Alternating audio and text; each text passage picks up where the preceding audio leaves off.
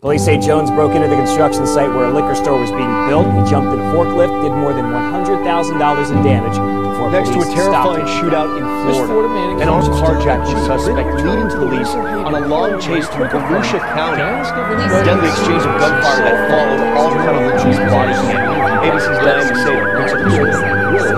It's about as close as a close call can get. Watch as the hat on his Florida deputy gets knocked off his head. White Florida gang members punish black member with racist slur tattoo, but spell it wrong. Welcome back to the sunshine state of racism.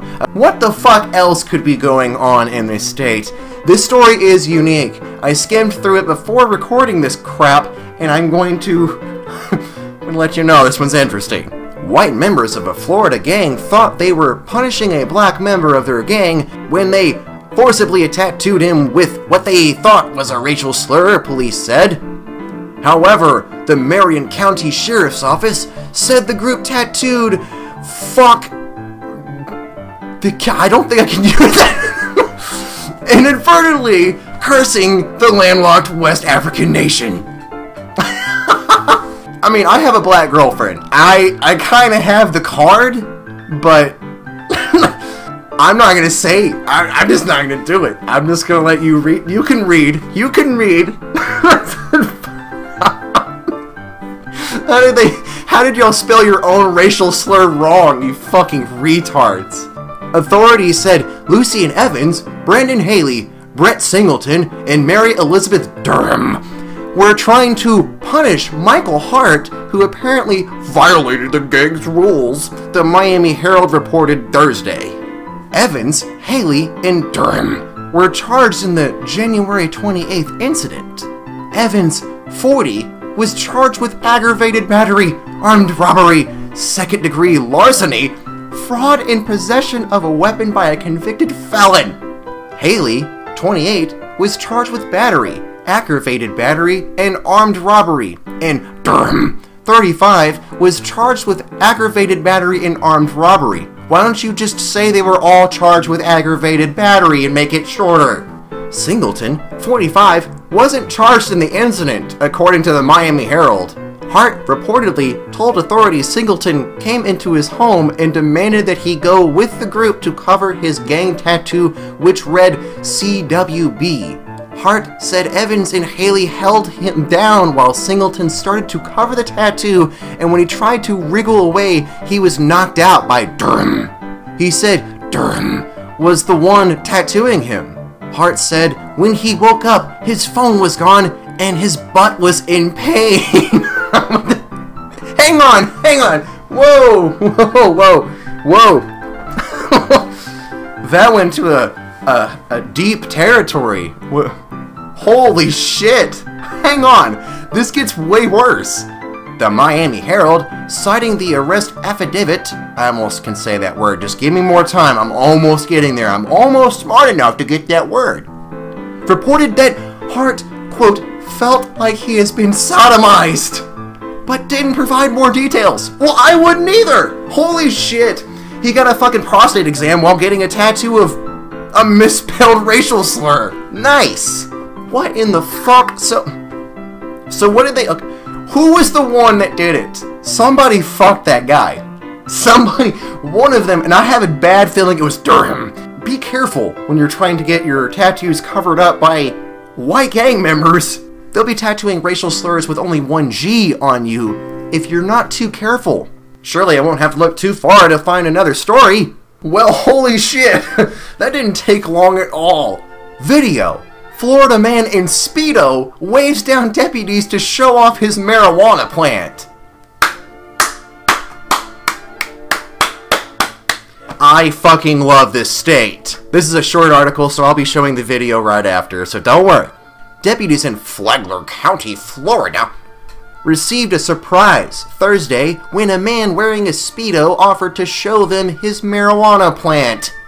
Now, anytime I'm about to show anyone my marijuana plants, you gotta be wearing a Speedo. Especially police officers, because I want to be able to be sure to run really quickly, or throw those surprise roundhouse kicks. The incident was caught on body camera. Fantastic. So that way we can all watch this garbage. Because we all want to see an old man in a Speedo trying to offer marijuana plants to fucking deputies.